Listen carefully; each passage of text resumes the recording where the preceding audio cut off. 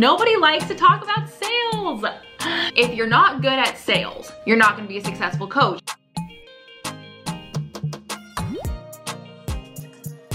What is up you guys? Welcome back to my channel. My name is Emily. I am the owner and founder of Emily Woods Wellness LLC, my online platform for new health coaches who want to make a profit and a massive impact in the online space.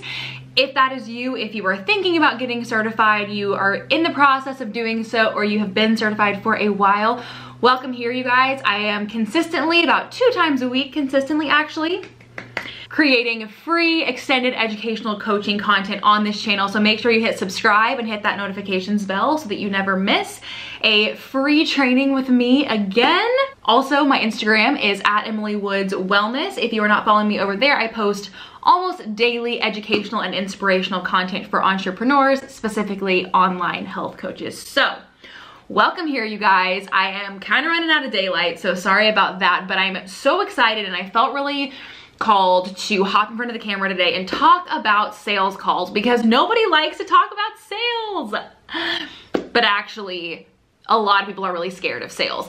And the thing is, let me let me tell you how it is. If you're not good at sales, specifically, if you freeze up, you lose your cool, you don't have your shit together on sales calls, you're not gonna be a successful coach. And it's hard to hear and it sucks. And you might be such a good coach when you're actually in client sessions, but you can't get into client sessions unless you make the sale. So, with that being said, it's very important that we take a moment to discuss what it is that most coaches do when they're first entering their journey into sales, why that doesn't work, and what you can do instead.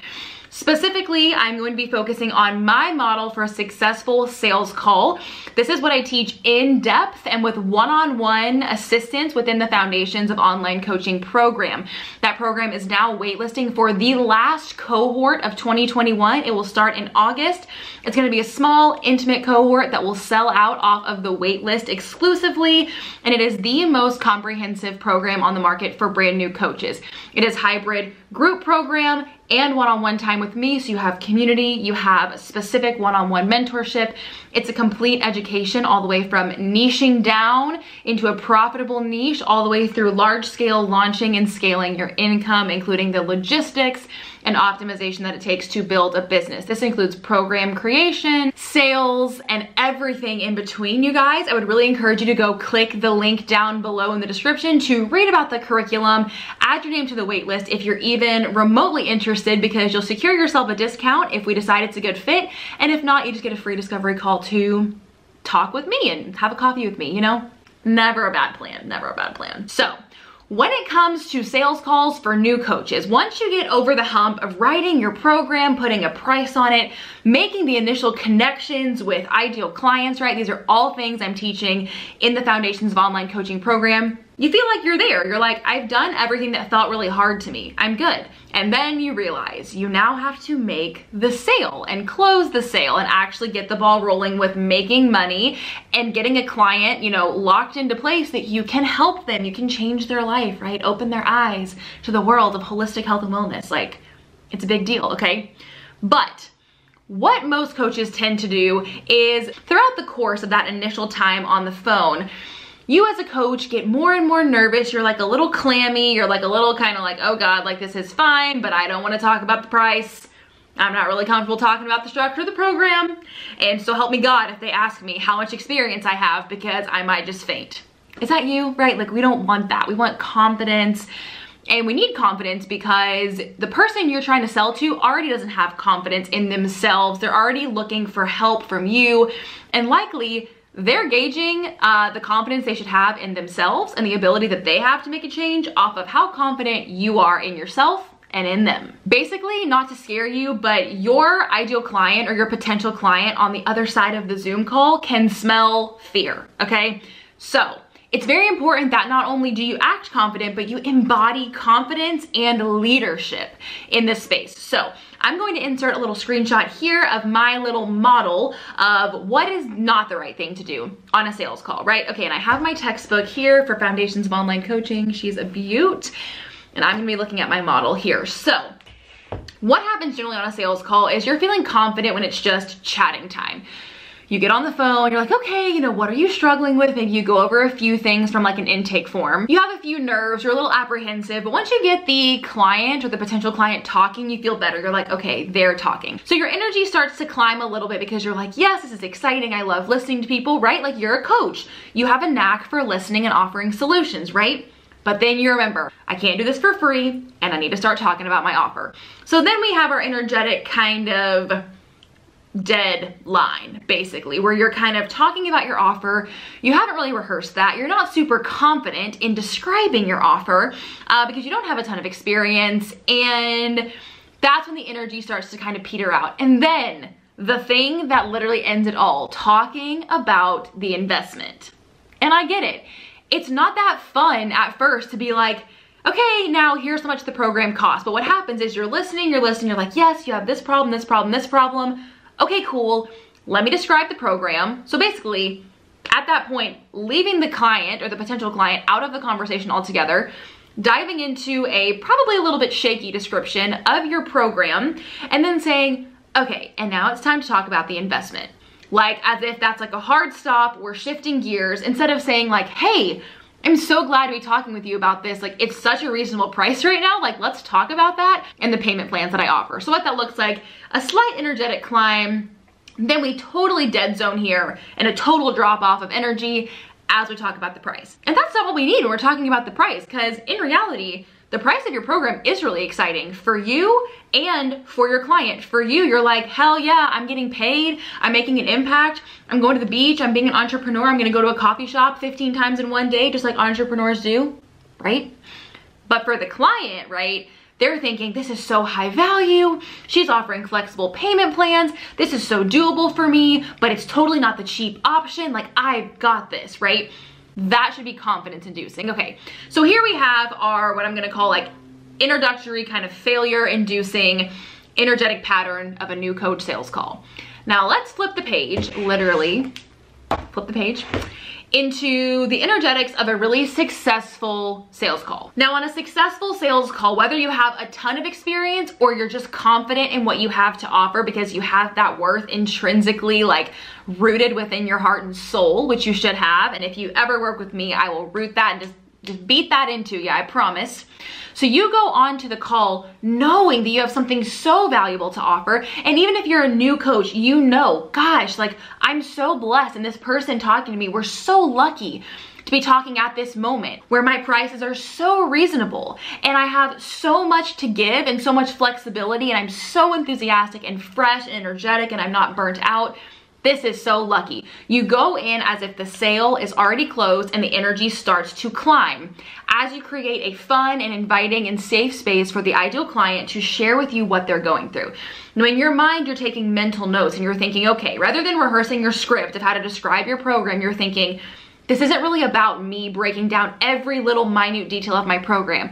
This is about me listening to the problems that this ideal client is having, this unique individual person listening actively, maybe jotting down a few notes, but at least taking mental notes of what are they struggling with that I can repeat back to them, let them know I heard them, and basically in this moment solve those problems with my program. How can I say, okay, Susie, you've been trying to lose 15 pounds for the last 10 years and you just can't kick your, you know, your habit with sugar and your stress is sky high, whatever it might be. Within my program, this is how I address that. Instead of saying, okay, cool, sorry you're struggling with that, now I'm gonna talk about my whole agenda. Do you see that difference, right? You shift from hard stop, going into the structure of your program to integrating what this person is struggling with, with how you can solve their problems via your program. And then in the end, all you really need is a quick discussion of the structure of your program in a very like consolidated way, one to two sentences really, keeping the ideal client involved in the conversation. Don't let them stop talking so you can just steamroll over them with details, right? Keep them involved. Have you ever tried anything like this? How is this different from what you've tried in the past? Is this exciting to you? Do you have questions? Keep them involved. At this point, when it comes time to discuss the investment, all you're doing is facilitating the connection between the two of you, right? Clearly, this client does not think, they're under no illusion that this is going to be free, right? They're not gonna walk into the doctor's office and say, here are my problems, buy, buy for free. Same thing with you. Like this whole program, this whole solution is not going to be free. They know that. So go in knowing that the investment piece of the conversation can come so naturally and seamlessly. And all you need to do is make it a part of the conversation. And the key to a successful sales call is that you don't clam up at the end and say, okay, here's the price. Like, sorry it's so much. Talk to you later. Like, DM me if you're in. No. You sit there with them in that moment and you discuss the numbers and you say, okay, here's the full picture. You have some details of the program. You have the, you know, bigger picture of the investment and how it all integrates together and how I truly think this will benefit you and your life, your physical and mental health. What questions do you have for me? How are you feeling about all of this? Get them to respond. Don't put any worries on them, right? Like if if you're assuming that they're worried about the price, that's not fair because they might not be, right? Don't put that on them. And if they say that they are, their worries and fears and apprehensions in their situation is different from anything you could ever guess. So you don't want to be placing these assumptions on people, essentially, is what I'm saying. So, you let them speak to you, you talk with them openly, and then you let them know. If they need time to think, that's great. But you schedule a follow up call with them to have that discussion between 24 and 48 hours after the initial call. So they can ask questions if they need to, and they can discuss a payment plan or if they're, you know, if they want to sign up, what that payment might look like. Your goal is going to be always, always, always to get as close to a verbal commitment on that initial call as possible. That doesn't mean you pressure, you use scare tactics, or that you push someone in a direction that makes them uncomfortable. You stay empathetic, you stay caring, and you are not desperate. Do not be desperate for sales. Remember, you are a badass. You're providing a life-changing service.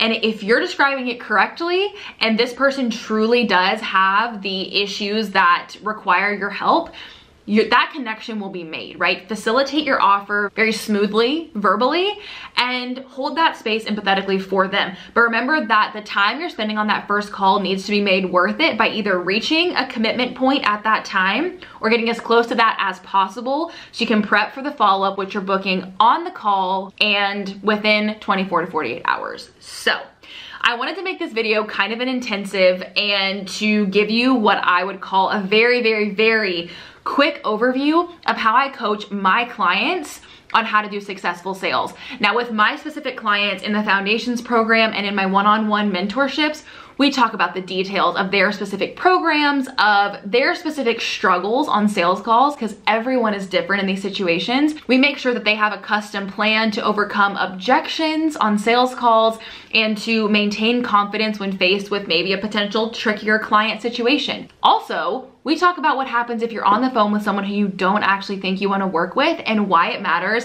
that you're a little bit picky about the clients that you have, right? This is why in all my programs, we go through a filtration process so that we are sure, both you and I, that we are a good match and we're gonna get you the success that you're looking for. So I hope this was helpful. If that type of directive guidance and training sounds like it would be helpful for you and like it would change the game for you in sales, please add your name to the Foundations of Online Coaching waitlist down below. It is such a life-changing program and it will not be back until next year, which is a while away, honestly. So make sure you don't wait, even if you just want the chance to get on a free discovery call with me and to get some free educational emails while you're on the waitlist. But I hope you're having a phenomenal day or night wherever you are and that you are doing something today to go after it and make your dreams in entrepreneurship come true. Thanks so much for being here, you guys. I believe in you so much. Always remember that, and I will see you guys in the next one.